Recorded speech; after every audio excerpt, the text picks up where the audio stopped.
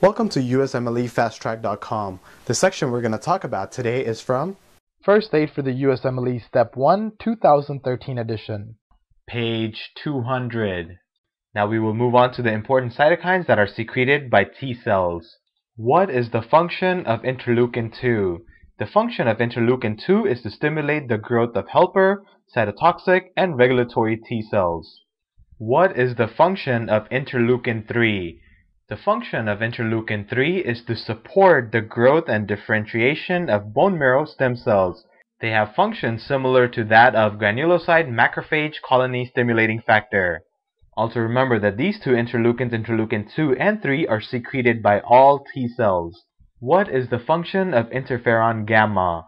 The function of interferon gamma is to activate macrophages and T helper 1 cell. Interferon gamma's function is also to suppress T helper 2 cells and has antiviral and anti-tumor properties. What is the function of interleukin 4? The function of interleukin 4 is to induce the differentiation of T helper 2 cells. They also promote the growth of B cells and enhance class switching to IgE and IgG. What is the function of interleukin 5? The function of interleukin 5 is to promote differentiation of B cells. They also enhance class switching to IgA and stimulate the growth and differentiation of eosinophils. What is the function of interleukin 10? The function of interleukin 10 is to modulate inflammatory response. Interleukin 10 can also inhibit the activation of T cells and T helper 1 cells. An additional fact to note about interleukin 10 is that they are also secreted by regulatory T cells. Name a protein that has an action similar to that of interleukin 10. A protein that has an action similar to that of interleukin 10 is TGF-beta or transforming growth factor beta, and the reason for this is because it is involved in the inhibition of inflammation. What is the mnemonic to help you remember the functions of some of the interleukins we just talked about? The mnemonic is to remember hot T-bone steak, and that will help you remember the functions of interleukin 1 through interleukin 5. Hot is for fever, and that is one of the actions of interleukin 1.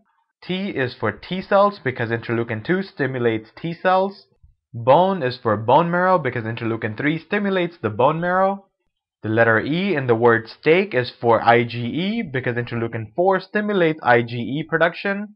And A in the word steak is for IgA because interleukin 5 stimulates IgA production. For more information on this topic, click on the link in the description section below. For a full USMLE Step 1 review, be sure to check us out at usmlefasttrack.com where we help you review the entire first aid for the USMLE Step 1 with high quality videos and hundreds of detailed pictures for a better understanding of the material. So to learn from the best USMLE review book, be sure to check us out at usmlefasttrack.com.